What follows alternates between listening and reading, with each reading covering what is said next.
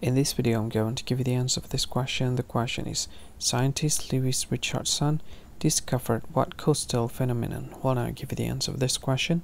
And the answer for the question is coastline paradox. So that is the answer for the question. Hi, thank you so much for watching this video. If you find this video is very useful, you can help this channel to grow by subscribing this channel. Please this subscribe button and don't forget to like this video.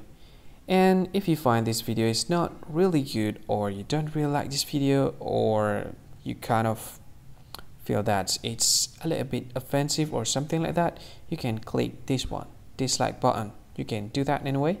And if you want to share this video with your friend, you can share it by clicking this share button and you can share it to any any social media that you wish that is currently available at this time like Facebook, Twitter, LinkedIn, and many others. Right?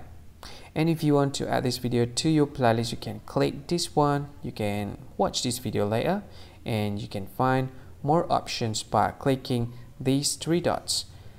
And yeah, don't forget to subscribe. I think that's all of it. Thank you so much for watching this video and see you again in another video. Bye bye. See you again.